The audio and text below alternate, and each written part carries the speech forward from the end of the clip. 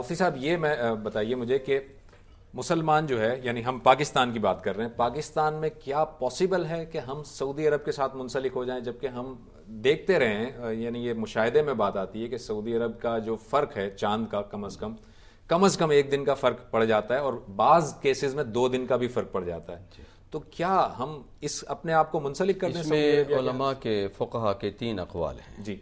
फतावा दुर मुख्तार में फतावा शामी में उन्होंने ये वाज किया है कि इसमें के तीन अकवाल हैं। एक कौल यह है कि रोयत अहल मशरक़ की अहल मगरब अहल मगरब की अहल मशरक़ के लिए रोयत हजत है।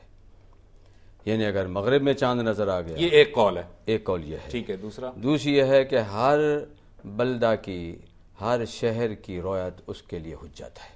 ठीक है। दूसरों के लिए हजत नहीं है। अगर एक लाहौर में नज़र आ गया दूसरे शहरों में नज़र नहीं आया तो उनके लिए रोज़ा ईद ज़रूरी नहीं है। इन्हीं के लिए है जो ये देखेंगे। और तीसरी यह है कि इसमें मसाफत का एतबार किया जाएगा एक महीने की मसाफत का। मसलन लाहौर में चाँद नज़र आ गया हम्म। तो लाहौर के आस पास के जो शहर हैं एक महीने की मसाफत के यानी आदमी अगर चले पैदल समझ तो एक महीने के बाद वहाँ पहुँचे। तो वो वहाँ तक इस इनकी रोयत वहाँ तक हुज्जत होगी उसके अच्छा। बाद आगे नहीं होगी।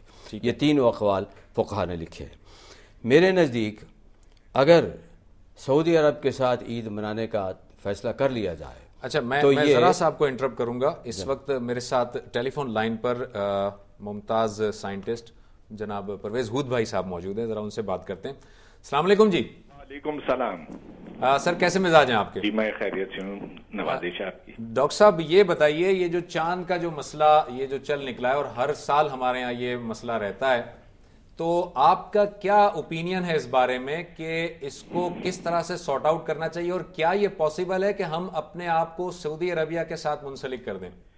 देखिए मैं आलिम तो नहीं हूँ मैं सिर्फ़ आपको साइंस के हवाले से बता सकता हूँ। कि चाँद जिस ऑर्बिट में है, जिस गर्दिश में है, उसके बारे में हम महीनों पहले क्या सालों पहले बल्कि दहाइयों पहले बता सकते हैं कि चाँद किस वक्त कहाँ पर होगा।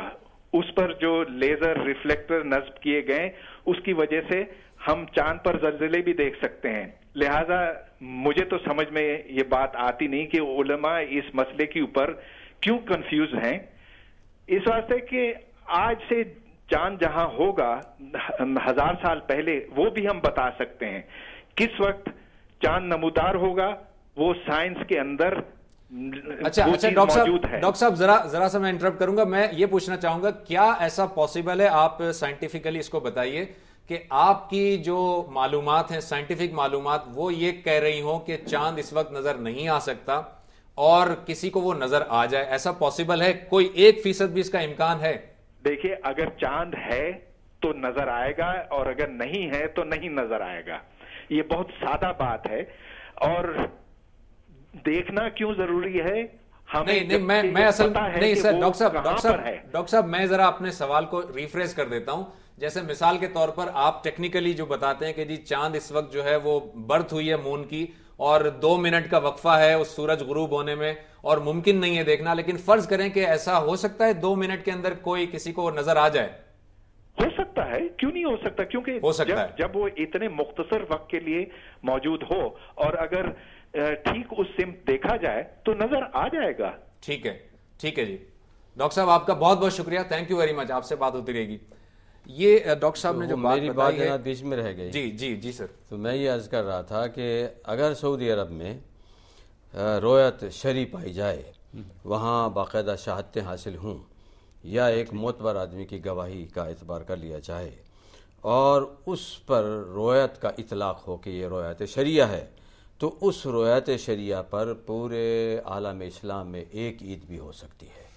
एक ईद भी हो सकती है। एक ईद भी हो सकती है। प्रोवाइडेड कि हम कोई अमर माने नहीं उस तरह से मरकजी हैसियत अमर माने नहीं है। डॉक्टर साहब ये आप जरा बताइए वान साहब के जो हमारे पास आम तौर पर यह है कि सऊदी अरेबिया में चाँद पहले नज़र आ रहा है और पाकिस्तान में उसके बाद नज़र आता है।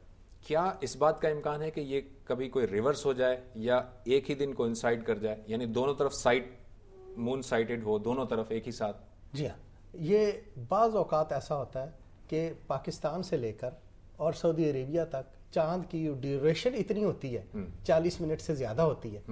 डेढ़ घंटा हम्म। तो उसमें वहाँ भी नज़र आ जाएगा यहाँ भी आ जाएगा। बाज दफ़ा उसकी ड्यूरेशन इतनी कम होती है कि वो वहाँ पे तो नज़र आता है क्योंकि वो मगरब में है और ये मशरक में लेकिन ऐसा यहाँ कभी नहीं नहीं होता। ये वेस्ट टू ईस्ट घूमती है ईस्ट टू वेस्ट नहीं घूमती। अच्छा, तो इस वजह से ये रिवर्स होने का तो कोई चांस नहीं है। और पहले नज़र आने का भी बुनियादी वजह यह है कि ज़मीन की जो गर्दिश है गर्दिश है वो वेस्ट टू ईस्ट है वो मगरब से मशरक के गिर्द घूमती है। ऐसा कभी नहीं हो सकता कि वो अच्छा मशरक अभी प्रोग्राम के स्टार्ट में आपने एक बात कही थी कि दूसरे महीनों के चाँद जो है वो आप अपनी हर महीने हर महीने हर महीने हमारी ऑब्जर्वेटरीज पूरे पाकिस्तान आप- में आप इसका। एहतमाम करती है और उसी कैलकुलेशंस के ऊपर हम करते हैं और जो जोनल कमेटी है हम वहीं जहाँ जैसे लाहौर में। रेडियो पाकिस्तान में आके देखते हैं वही एडवाइस देते हैं और उसी को ही फॉलो किया जाता है तो आप यानी जो एडवाइस देते हैं वो फॉलो कर ली जाती है। बाकी इसका मतलब 11 इसका। मतलब बाकी 11 महीनों में या कम से कम 10 महीनों में इसको जब फॉलो किया जाता है तो इसमें इसमें क्या प्रॉब्लम है ये जरा हम पूछते हैं जी, जी। सर आप जरा बताइए इस पे डॉक्टर साहब जी, जी। कि एक तो ये जैसे बाकी के 10 महीने या 11 महीनों में जब इनकी। सिफारिशात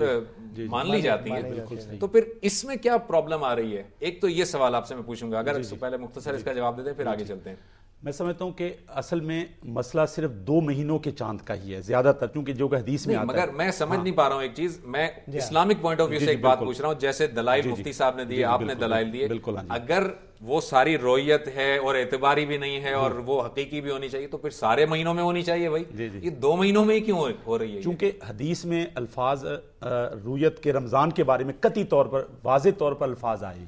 कि आप आप कयास तो सारे महीनों पे तो कर रहे हैं बिल्कुल बजा है लेकिन रमज़ान के बारे में चूँकि नसे कती है ठीक है ना इसको नसे कती कहेंगे कि हुजूर अच्छा। ने खास तौर पर सराहत फरमाई क्योंकि बाकी जो महीने उनके बारे में तो कोई तनाज़ा नहीं पैदा होता। हम्म। लेकिन रमज़ान के बारे में नसे कती है और मसला सौम का भी आ गया हाँ। जहाँ नसे कती आ जाती है सौम का मसला है वहाँ पे ईद का मसला है रोजा इफ्तार करना है रोजा रखना है। दो चीज़ें ये दोनों एक, एक बात मुझे बताइए नशे कतई तो है लेकिन क्या नबी सल्लल्लाहु वसल्लम के दौर में बाकी के अयाम में चाँद देखकर डिसीज़न नहीं लिया जाता था?